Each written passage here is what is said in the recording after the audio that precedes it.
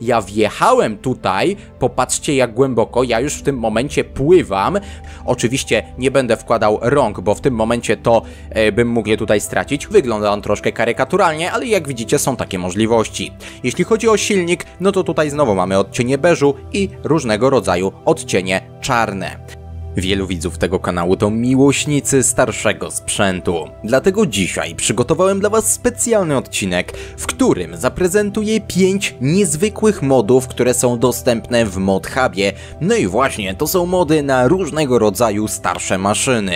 Zanim zaczniemy, jedna bardzo ważna rzecz. Nie pytajcie proszę w komentarzach, czy dany mod jest na konsolę, bo dokładnie o tym opowiem w filmie. No i przypominam jeszcze o subie na YouTubie i w tym momencie możemy już zaczynać. Mam tutaj troszkę standardowego sprzętu z podstawki, będę go wykorzystywał w trakcie testów i mam jak widzicie 5 sztuk różnych modów z ModHuba. Mamy piękny traktor marki Fiat, Tutaj coś od marki Belarus, New Holland, czyli ciągnik na gąsienicach, maszyna od marki Vermeer oraz dwa razy Zetor. No i właśnie zaczniemy sobie od tych Zetorów. Gdy przejdę do sklepu, to znajdziemy coś takiego, co nazywa się Zetor UR2 Pack. Jest to paczka Zetorów stworzona przez Kasztana. Została ona niedawno zaktualizowana i obecnie mod jest oceniony na zawrotne 4,8 gwiazdek, a oceniło go ponad 1100 osób. Weźcie pod uwagę, że to jest pak. Mamy tutaj naprawdę dużo różnego rodzaju traktorów. Zacznijmy sobie od Zetora od modelu Krystal 8011. Na uwagę zasługuje wygląd. Przede wszystkim na uwagę zasługuje tutaj połączenie odcienia żółtego z czerwonym kolorem. Możemy sobie go oczywiście zmienić podobnie jak konfigurację silnika. Co prawda tutaj możemy zmienić tylko skrzynię biegów i moc tego silnika jest ograniczona do 80 koni mechanicznych.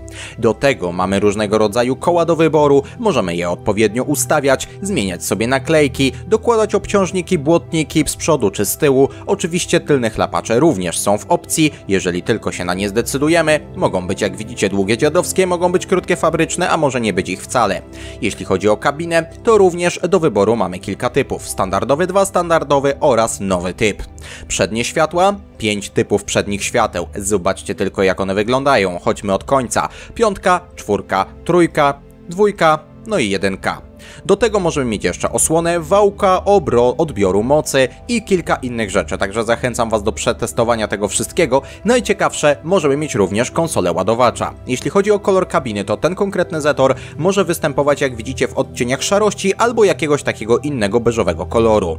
Jeśli chodzi o obciążniki, no to tutaj możemy mieć jeszcze kolory czarne. Do tego możemy sobie wybrać jeszcze na pewno kolor maski i jak widzicie tutaj mogą być kolory w odcieniach czerwonego, mogą być takie pomarańczowe, tak jak teraz, no i mogą być jeszcze niebieskie. Zróbmy sobie może właśnie coś takiego. Jeśli chodzi o silnik, no to tutaj znowu mamy odcienie beżu i różnego rodzaju odcienie czarne. No to dołóżmy sobie jeszcze kolor błotników, dajmy na przykład taki niebieski, zróbmy sobie kratkę powiedzmy taką. Do tego kolory felg też wrzucimy w kolorze całej tej maszyny, przedniego obciążnika, a nie, przedni obciążnik też mam, to zróbmy go w takim razie czarny, no a kolor kabiny, no jak widzicie nie da się go zrobić tutaj niebieskiego, ale taki Zetor może wyglądać również w ten sposób. Ja go sobie wypożyczę, no i jak widzicie tych Zetorów mamy tutaj naprawdę bardzo dużo. Mamy też Zetory bardzo podobne do naszego Ursusa, który niedawno prezentowałem Wam na kanale. Zobaczmy sobie jeszcze na przykład na Zetora 8145. Tutaj jak widzicie kolejna maszyna nie ma aż tak mocnego silnika, 80 koni mechanicznych. Jak widzicie znowu możemy tutaj naprawdę bardzo dużo rzeczy konfigurować. Nie będę Wam dzisiaj tego wszystkiego pokazywał, bo po prostu zajęłoby mi to zbyt dużo czasu. Natomiast jeżeli przejdziemy sobie do ostatniego Zetora, no to ten ma moc już 155 koni mechanicznych. No to dobra, pokażę Wam w takim razie jaka jest moc tych wszystkich ciągników, idąc od początku. Najmniejszy 80, dalej również 80, kolejny od 115 do 155 koni mechanicznych, następny 115, kolejny 155, następny 80, 80, 115, 155, idąc dalej 115 i ostatni 155. Więc jak widzicie są to maszyny, które można wykorzystać na przykład na jakimś mniejszym bądź troszkę już większym gospodarstwie. No to teraz chodźcie, wskoczę sobie do tego Zetora i przejedziemy się nim po prostu po polu. Wskoczyłem do niebieskiego, czyli tego, który stworzyłem sobie dosłownie przed chwilą. Weźmiemy sobie jakąś maszynę, o może weźmy sobie pług na przykład i pojadę zrobić małą orkę, żeby pokazać wam jak ten ciągnik sprawdza się w pracach polowych. Mam tutaj kilka sprzętów, stosunkowo rzadko używanych przez graczy, no i właśnie dzisiaj pojeździmy sobie po polu, zrobimy teraz taką małą orkę, żeby też wam pokazać jak dokładnie ten ciągnik będzie się sprawdzał w typowych pracach polowych. Pojechałem tutaj na pole, no i zaczynamy. Zobaczcie, ciągnik radzi sobie naprawdę świetnie, wygląda moim zdaniem bardzo dobrze, jedzie 7 km na godzinę, wynika to z tego, że tutaj prędkość orki jest znacząco ograniczona. Bardzo dużym plusem tego typu ciągnika jest fakt, że możemy zamontować tutaj tur. Tur bardzo się przyda, jeżeli na przykład będziecie chcieli ogarnąć sobie różnego rodzaju rzeczy związane na przykład z przenoszeniem beli i tym podobne. No to chodźmy jeszcze do sklepu, zobaczmy czy mamy tutaj coś więcej, ciągniki, więc jeżeli chcecie tura, no to trzeba już skołować go sobie z innych źródeł. Tak czy inaczej uważam, że jest to naprawdę bardzo fajny modzik, świetnie oceniony, no i przede wszystkim naprawdę pięknie wykonany. Także moi drodzy, jeżeli chcecie, no to oczywiście można sobie go pobrać z ModHuba. No i najważniejsza kwestia, czy jest dostępny on na konsolę? No tu niestety muszę was rozczarować, bo ten konkretny model niestety jest dostępny tylko i wyłącznie na PC-ta. No ale kolejne mody będą już dostępne na konsolę, przynajmniej niektóre, więc chodźmy w takim razie do następnego traktora. Kolejną maszyną w moim zestawieniu będzie ten gąsienicowy potwór od marki New Holland. Ale jak dobrze się przypatrzycie, to tutaj z przodu na masce możemy znaleźć również logo Fiat Agri, czyli jak widzicie jest to również powiązane z Fiatem. Tak czy inaczej, ten gąsienicowy ciągnik na razie jedzie tylko i wyłącznie na parking, dlatego że ja będę musiał go skołować w nieco innej wersji. Nie wiem czy zwróciliście uwagę, ale tutaj z tyłu nie ma tego trzypunktowego zaczepu, a ja bym bardzo chciał go mieć, żeby można było podłączyć tutaj na przykład mulcher. Więc chodźmy teraz do sklepu i zobaczmy jak ta maszyna prezentuje się właśnie w nim. Mamy tutaj dość mocny silnik, 150 koni mechanicznych, jednak maksymalna prędkość jest niska i wynosi zaledwie 13 km na godzinę. Następnie możemy go skonfigurować, to znaczy możemy dołożyć mu obciążnik przedni o masie 500 kg, z tyłu jak widzicie nic się jeszcze nie zmieniło. Dołóżmy sobie jeszcze nieco z przodu kilogramów i teraz obciążnik już ma 800 kg. Możemy w tym momencie dołożyć właśnie zaczep trzypunktowy, no i ja umieszczam go w tym momencie. Oczywiście chciałbym, żeby z przodu przodu też był obciążnik, także 900 kg z przodu, no i z tyłu będziemy mieli ten zaczep. Ja w tym momencie kupuję ten ciągnik, wsiadam do niego, ok, i możemy jechać w takim razie na pole. Zaraz zobaczycie jak on wygląda. To jest modzik, który ukazał się w ModHubie 18 października i został oceniony naprawdę bardzo przyzwoicie przez początkowych graczy, którzy testowali właśnie tego moda. Jeśli chodzi o to na co jest dostępny, to dostępny jest na wszystko, więc gracze konsolowi również będą mogli skorzystać z tego konkretnego sprzętu. Podłączyłem sobie w tym momencie mulcher i zamierzam przejechać się nim po polu, żeby zobaczyć jak właśnie ta maszyna prezentuje się w typowych pracach rolniczych. Zobaczmy sobie jeszcze jak wygląda widok ze środka, bo jest on dość specyficzny. Jak widzicie, dość sporo przestrzeni jest zajętej przez metal, także widok ze środka jest dość mocno ograniczony. No ale zobaczmy teraz jak to wygląda z tyłu. Włączamy sobie mulcher, e, ilość koni mechanicznych powinna w zupełności być wystarczająca do obsługi tego sprzętu, no i jak widzicie mogę w tym momencie zmielić resztki mojego ścierniska. Tutaj akurat rosła sobie wcześniej kukurydza, więc idealnie ta maszyna się nada do przygotowania pola pod kolejne uprawy. No powiem szczerze, dużo lepszy widok jest do tyłu maszyny niż do przodu, ponieważ te metalowe elementy karoserii są po prostu bardzo duże. No ale jest to pojazd, który ma wiele lat, no i też wygląda dość niecodziennie. Moim zdaniem, jeżeli ktoś lubi robić sobie tego typu starsze gospodarstwa, no to ten pojazd może być naprawdę bardzo interesujący. Jego niewątpliwą zaletą jest fakt, że jest na gąsienicach, a to oznacza, że potrafi zawrócić dosłownie w miejscu. Weźcie to pod uwagę, jeżeli na przykład będziecie szukać sprzętu, który trzeba będzie wykorzystać w bardzo ciasnych miejscach. Oczywiście link do niego znajdziecie na dole w opisie. No to teraz pokażę Wam najmniejszą maszynę w dzisiejszym filmie. Pierwsza rzecz, która mnie bardzo zaskoczyła, to przyspieszenie. Co prawda w zakresie od 0 do 20 km na godzinę, ale trzeba przyznać, że to przyspieszenie jest imponujące. Popatrzcie, jak szybko ten traktor rozpędza się właśnie do 20 km na godzinę. Maksymalna prędkość jednak wynosi niewiele więcej, bo 23. No ale dobra, zostawmy temat maksymalnej prędkości bo ten Fiacik jest unikatowy w nieco inny sposób. Przede wszystkim jest to malutki traktor model 480 od marki Fiat. Pojedziemy sobie nim od razu na pole i zaraz pokażę wam jak on dokładnie wygląda w sklepie. Tu po lewej mamy kupę drzewa, ale tym drzewem zajmę się dosłownie za jakiś czas, bo też będę chciał wam zaprezentować moda związanego z drzewem. Natomiast ja wziąłem sobie tutaj taki oto głębosz. Jest to najmniejszy głębosz jaki może być w grze od marki Agroszalek. To taka ciekawostka. Ten głębosz wymaga zaledwie 10 koni mechanicznych. Co prawda szerokość robocza wynosi 1,20 m, ale mniejsza z tym. Idealny głębosz do tego typu małego traktorka. Zobaczmy w takim razie widok ze środka. Jak widzicie, bardzo dobrze jest to wszystko odwzorowane. Można się poczuć, jakbyśmy jeździli właśnie starym, małym ciągnikiem. Jeśli chodzi o to, na jakie platformy dostępny jest mocik, to znowu wszyscy powinni być zadowoleni, dlatego że ten konkretny model jest dostępny na wszystkie platformy, w tym również na konsole. Także każdy z Was będzie mógł sobie właśnie pograć tym starszym Fiatem. Z ciekawostek dodam, że mamy tutaj starą tablicę rejestracyjną, która konstrukcyjnie ma kilkadziesiąt lat. No to teraz zobaczmy, jak ten konkretny model wygląda w sklepie. Gdy wejdę sobie właśnie do sklepu i wybiorę ten model, no to mogę go odpowiednio skonfigurować. Na początek mogę wybrać sobie obciążnik przedni, co raczej jest standardem w tego typu maszynach i maksymalnie mogę obciążyć przednią oś 320 kg. Następnie mogę wybrać długość rury wydechowej. Może być taka króciutka, albo nieco dłuższa. Jeśli chodzi o ustawienia kół, no to mogę dołożyć tutaj obciążniki opon i one występują w dwóch wariantach. Jak widzicie, pierwszy, drugi, nieco mniejszy, nieco większy. Następnie możemy ustawić tablicę rejestracyjną i to jest bardzo fajna rzecz, bo może być rejestracja dosłownie wzięta z mapy, czyli taka standardowa, w tym przypadku mamy rejestrację z Erlengrad, ale możemy też mieć rejestrację z lat 70. Moim zdaniem wygląda ona bardzo klimatycznie. Jeśli chodzi o kolor, to mamy tutaj trzy barwy do wyboru wyboru i są to, e, i są to odcienie koloru pomarańczowego. Różnice nie są wielkie, może ten trzeci kolor jest minimalnie ciemniejszy, każdy z nich wygląda naprawdę fajnie. Jeśli natomiast chodzi o felgi, to mamy nieco większy wybór, bo oprócz wcześniej wspomnianych trzech barw, możemy dołożyć jeszcze taki oto biel, taki oto beżowy kolor, nie wiem czy to jest biały, dla mnie to nie jest biały, ale ok. Możemy dołożyć sobie jeszcze kolor szary, czyli będziemy mieli taki typowy metal, jakby nie był niczym pomalowany i możemy mieć jeszcze czarne felgi do wyboru do koloru.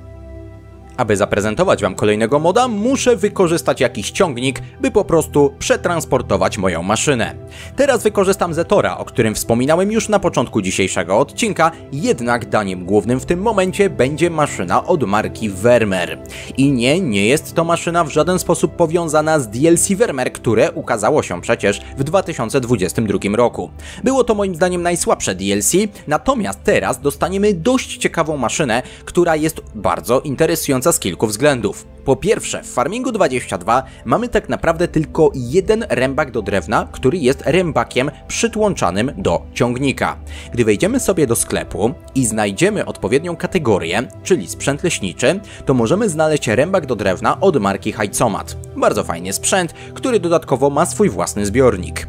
Dodatkowo w grze występuje jeszcze jeden osobny rębak, który również znajdziemy w sklepie w specjalnej zakładce. Dokładnie tutaj, maszyny używane w leśnictwie. Jednak ten rębak jest gigantyczny, kosztuje 660 tysięcy euro, czyli bardzo dużo. Niestety w modach nie ma zbyt wielu innych rębaków, dlatego jak pojawia się coś takiego, to warto to przetestować. Tym bardziej, że oceny tego moda są bardzo przyzwoite. No to w takim razie, pobawimy się dzisiaj tym rębakiem drewna. Muszę go najpierw rozłożyć klawiszem X. Tak tylko powiem, że jest on dostępny na każdą platformę, również na konsolę. Wystawimy sobie sobie rurę. Ok. I teraz tak, mogę oczywiście już włączyć rozdrabniacz drewna, natomiast wcześniej jednak będę chciał troszeczkę pobawić się rurą. Tutaj mogę jeszcze, jak widzicie w tym zetorze, otworzyć sobie dach. To taka ciekawostka, nawet nie zwróciłem na to uwagi wcześniej. No ale jak widzicie, bez żadnego kłopotu mogę to zrobić. Taki oto daszek tutaj jest uchylony. No to ja sobie tutaj pokręcę rurą, powiedzmy, że ustawię ją w to miejsce OK. Ustawię sobie od razu, żebym wyładowywał na ziemię, bo w tym momencie nie mam żadnej przyczepki w okolicy. No i teraz włączam sobie mój rębak. Jak widzicie, rusza się on naprawdę fajnie. Teraz tylko podejdę tutaj, żeby go Wam pokazać. Oczywiście nie będę wkładał rąk, bo w tym momencie to e, bym mógł je tutaj stracić. Chociaż nie, bo mam włączony automatyczny rozruch silnika, czyli w tym momencie ta maszyna mi się wyłączyła. No nie, nie tak to miało wyglądać. Wchodzimy w takim razie jeszcze raz. Muszę oczywiście zapalić silnik. Teraz włączam sprzęt, podchodzę tutaj, ignoruję wszystkie przepisy BHP i wkładam ręce właśnie w to miejsce. No nie, to by się bardzo źle skończyło. W każdym razie, mam tutaj troszkę metrowych kawałków drewna. One ważą dość sporo. Jedne nieco więcej, drugie nieco mniej. Weźmy sobie na razie może coś, co waży mniej niż 200 kg, żebym nie musiał używać super siły. Dobra, wkładamy.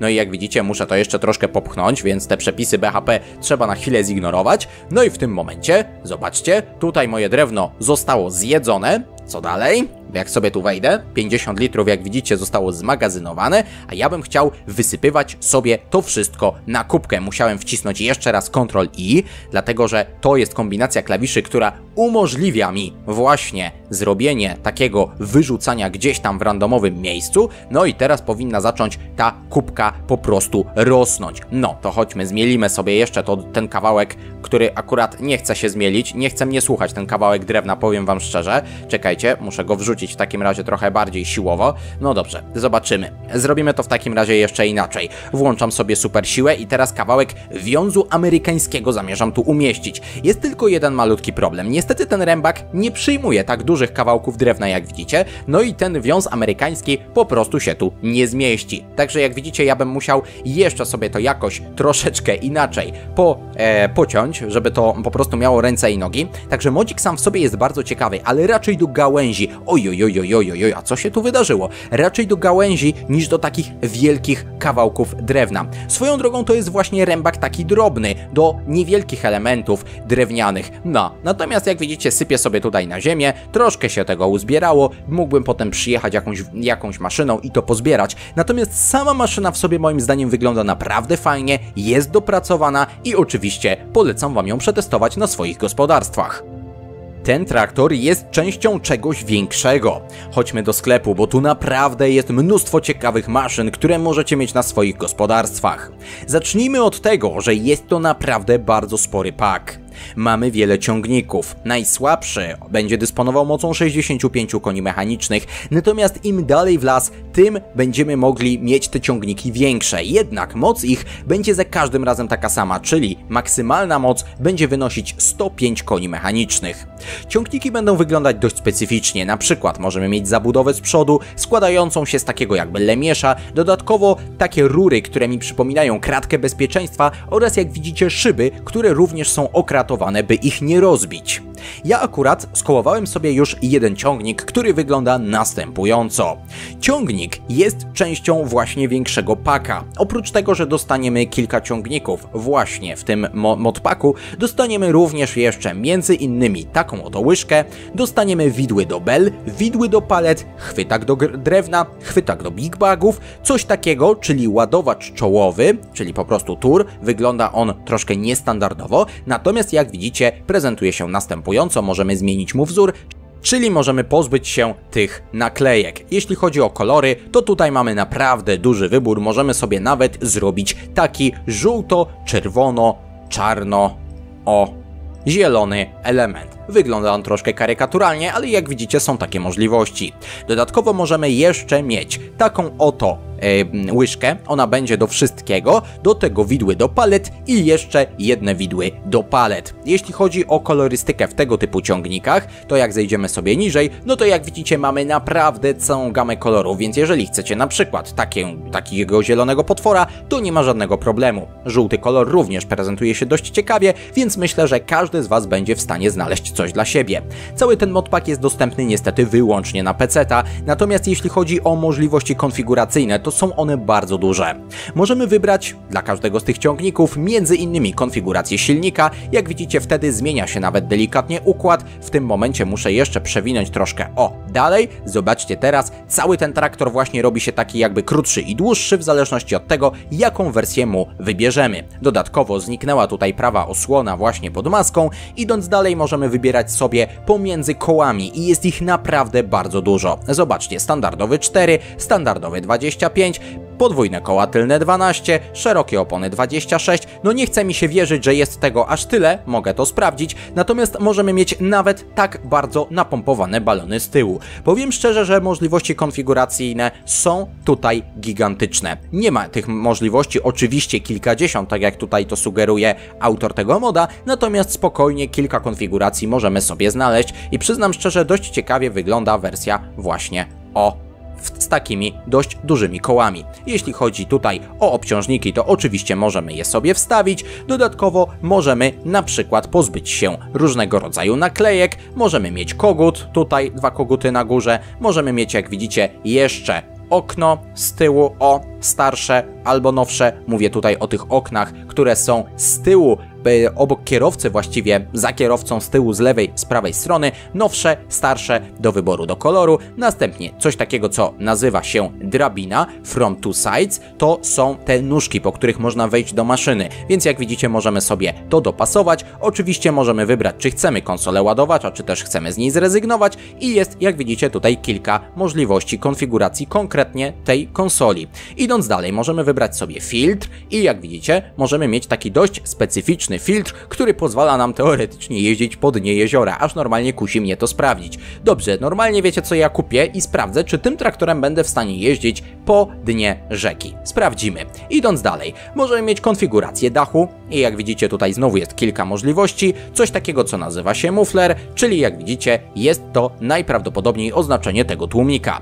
Następnie Hood Light Protection, czyli zabezpieczenie dla naszego światła. Tutaj z przodu te światła mogą mieć jeszcze dodatkowe zabezpieczenie i możemy wybrać, czy chcemy mieć chromowane, czy też na przykład plastikowe, czy też nie chcemy mieć żadnego. Front Work Light. Tutaj możemy znowu sobie zmienić, czy chcemy mieć jeszcze dodatkowe światełka, czy też nie. One znajdują się tutaj na górnej części naszego ciągnika, czyli praktycznie na dachu. Ok, doładowałem sobie jeszcze w takim razie coś takiego i jeszcze możemy zdecydować się na dodatkowe lampki w tym miejscu. Wygląda to dość ciekawie, mamy żółty traktor, ja go sobie wypożyczam i idę zrobić wielki test. Tylko muszę tam przeskoczyć i zaraz sprawdzimy, czy ta maszyna się utopi. Jestem dość ciekawy właśnie, czy ta maszyna w ogóle ma jakiś realny wpływ na to, czy właściwie ta część, ten snorkel można powiedzieć. Na szczęście rzeka jest niezbyt daleko i powiem szczerze, że te balonowe koła wyglądają dość ciekawie, dość interesująco. Trochę tak jakbym normalnie miał tutaj brać udział w wyścigach dragsterów.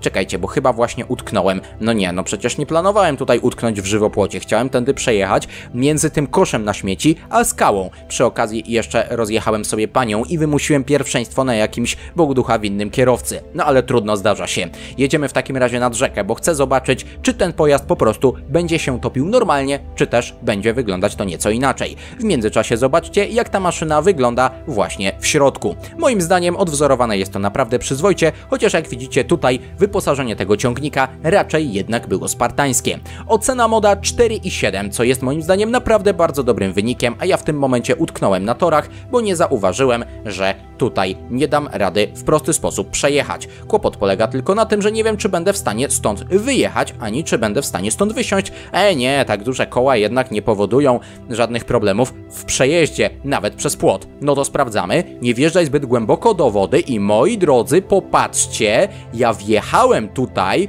popatrzcie jak głęboko, ja już w tym momencie pływam, no i oczywiście nie wjeżdżaj zbyt głęboko do wody. Czy to oznacza, że ja się już tutaj utopię? No, jestem zanurzony prawie po dach. Jestem zanurzony prawie po dach, więc żeby dobrze sprawdzić, to trzeba będzie porównać sobie topienie tego pojazdu po prostu z jeszcze inną maszyną.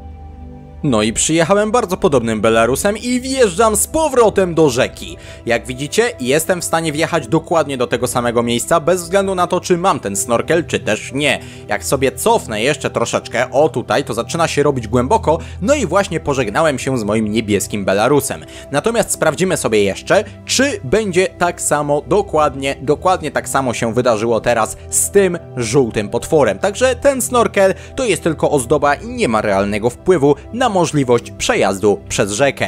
Mam nadzieję, że ten odcinek się Wam podobał. Jeśli tak, to koniecznie zostawcie łapeczkę w górę i oczywiście przypominam o sobie na YouTubie, a ja się już z Wami żegnam. No i do zobaczenia znowu. Trzymajcie się, cześć!